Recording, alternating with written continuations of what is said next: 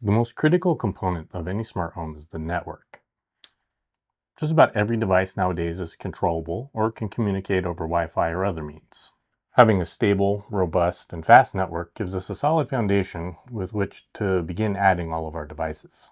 In this episode of Designing the Ultimate Dream Smart Home, we'll talk about the network. My name is Steve, and this is IT Alchemy.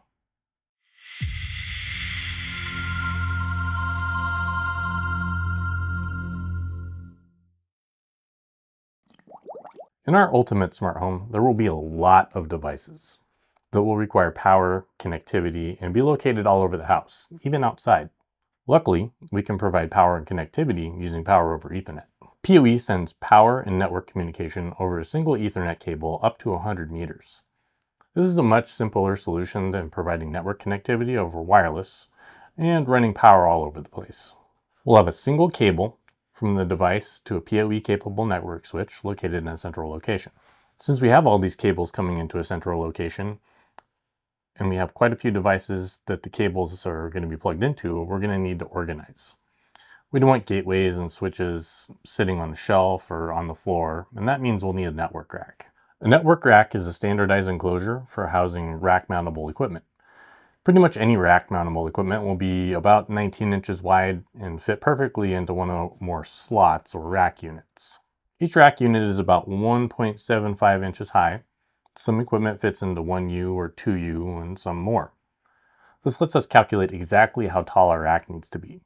Based on the equipment that we're going to be putting in our ultimate smart home, we won't need nearly a full rack, but there is a lot of cabling coming in and I like having room to expand, so we'll go with a full 42U rack. Inside the rack, we're going to have our network gear and other equipment that help run the home. First, we'll have an internet connection.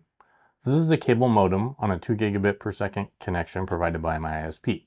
In the future, when fiber is available, this can be upgraded to as high as 10 gigabits a second. A lot of ISP provided modems are also Wi-Fi routers and switches, and that's great if you want an all-in-one device, but we have our own routers and switches, so this will be configured in gateway only mode. Gateway only mode bypasses the routing and switching functionality and just passes the traffic straight on through. The modem itself connects to the WAN port of our Dream Machine Pro. Right now, we'll connect it to the Ethernet WAN port, but if we get a fiber internet connection, we can utilize the SFP WAN port. This device functions as a router, firewall, and a software control plane all in one for all of our Ubiquiti equipment. I did a deep dive on this in a previous video, and if you didn't catch it, check it out here. The UDM Pro will be seeing all of the traffic that comes in and out of our network. We don't want to bottleneck it, so we're going to connect it to our first switch using the SFP port using a direct attached cable or DAC. A DAC cable on an SFP port will allow the traffic to pass through it up to 10 gigabits a second. Since we have a lot of connections to make, we'll need a big switch. In fact, we're going to need two. The Ubiquiti Pro Max 48 PoE is a 48 port switch with a combination of PoE Plus and PoE++ plus gigabit and 2.5 gigabit ports, and four 10 gigabit SFP ports. All of the cable runs from our devices will feed into these switches, but not directly. We'll have two 24 port patch panels for each switch. Each space in the panel has a keystone where on one end of the cable a run will be terminated, and this lets us secure and label each individual run. The other end of the cable uh, will be a keystone with a regular ethernet jack. A short patch cable from the jack to a port on the adjacent switch will connect the far end device. Now, you may be wondering why we don't just put an RJ45 connector on the end of the cable run and plug it into the switch. That's totally possible, but there's a couple of reasons why you shouldn't. One, the cabling in the walls and ceilings is fixed and should be generally be solid core cabling. This is much less pliable than stranded cabling, and it's also a bit more difficult to terminate into uh, an RJ45 connector. In general, you'll have a solid core run from the device to the patch panel, and the stranded patch cable from the patch panel to the switch, and an RJ45 coupler on the other end of the cable with a stranded patch cable connecting to the device. Two, if the cable run is terminated into a patch panel, that's much easier to trace which cable goes to what and when it's labeled on the patch panel rather than unbundling everything to see if there's a label on it. Additionally, this reduces the amount of bend and strain on the cable run, which prevents damage and replacement. Nobody likes repulling a long cable run. Thirdly, it keeps things neat and organized. We're not spending all this time, effort, and money to have a rack that looks like crap. Next up, we have the Ubiquiti NVR Pro. This is a network video recorder that we'll use to store all of the video from our security cameras. It can handle up to 24 4K cameras and have enough storage for about 30 days. Since this device will have a lot of traffic, we'll connect it to the switch using the 10 gig SFP port as well. For additional storage, we'll also have a Ubiquiti UNAS Pro. This is a network storage appliance that can store all of our files, pictures, videos, backups from our other devices. Now, the UNAS Pro is not the most feature-rich storage solution out there, but all I really need is file storage. I don't plan on running other applications on the NAS, and there are other devices for that. Since this can be a high bandwidth consumer, we'll also connect it to one of the switches with the 10 gig SFP port. Now there's something a little different below here. We have a Ubiquiti AI key. You'll notice that the device is only about a third of the width of normal rack appliances. There's a mounting option that lets you space up to three AI keys in a standard 1U rack space. And based on our, use, our usage, we're only going to need one of these, but there's room to grow if we ever want to scale up. Now, you might be thinking, we have G6 cameras and those all have AI features built in. Is the AI key really necessary? While it's true that the G6 cameras do have native AI detections built in, the AI key can extend that functionality of those and even other non-AI cameras. For example, with AI cameras alone, you can use the basic search terms like person or car to detect uh, specific audio events or set standard alarms based on motion or object detection and perform facial recognition.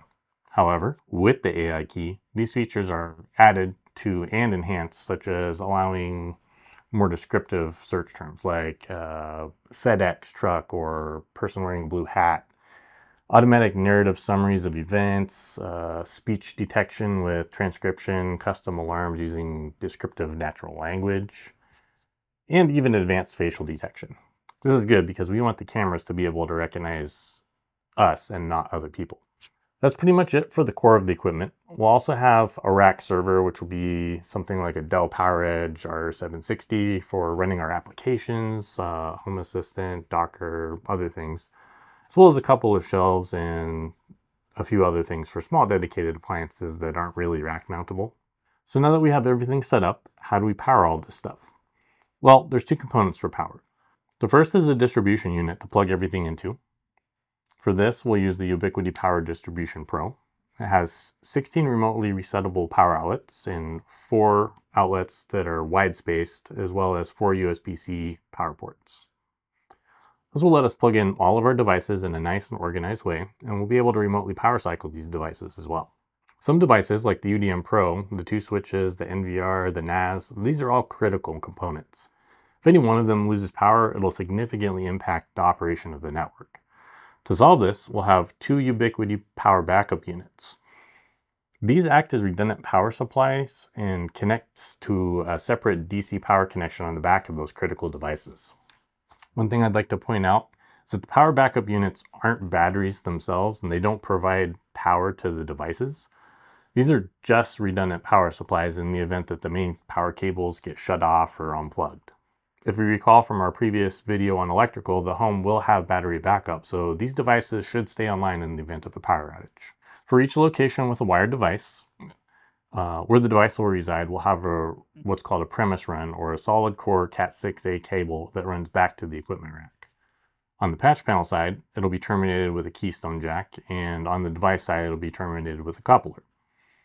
Patch cable connects the keystone to the switch, and another patch cable connects the device to the cable run.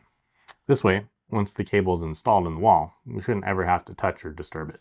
In our bedrooms, our workrooms, and other areas of the house, we'll have a run that connects to a remote switch. The Ubiquiti Flex switch is a 5-port PoE switch that can be powered remotely from our other equipment in the rack. These will provide additional connectivity for things like laptops and desktops and printers or anything else that we want to connect to the network via Ethernet cable. For wireless connectivity, we'll have three Ubiquiti U7 Pro access points. These will be staggered between the first and the second floors. each about a quarter divide of the house. These access points will provide ample coverage across our 2.4, 5, and even 6 gigahertz bands.